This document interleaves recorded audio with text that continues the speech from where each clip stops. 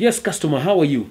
Uh, welcome to Clean Cuts Butchery. Hygiene here is our 100% priority. That's why we are kitted this way. We handle your meat with gloves. We have the masks on. Do you have a mask? We can provide you with a mask at no cost. So what can we do for you today? Yes, we do have some sirloin steak, T-bone steak, ribeye steak. We also have some Kobe beef that just came in. Premium quality, very expensive but very tasty. As you can see, the marbling on that steak is amazing. The fat in that steak is so amazing. We also have some lamb, we have some goat, we have some octopus, we do have some prawns here and some squid. So which one would you like? As you can see, we do also have the tools of trade. We do not just sharpen our knives anyhow.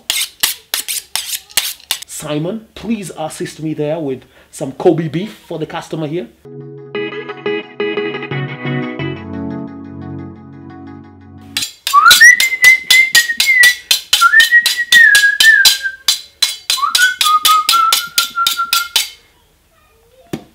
Kamani, mara hiyo mara ya ule mama iko tayari. Ananipigia simu hapa sasa. Wewe halo, watoji uga eh, mara yako iko iko hapa eh. Hapana, iko tayari. Wewe utakuja tu bebe, hakuna kukula hapa. O mzee ndio anakutia yeye, mwambie atupe kwa mpesa. Atuchukui pesa kwa sababu ya hiki tu mm. Nyamwena wale eh eh eh, niguo haya sawa. akaso habari gani?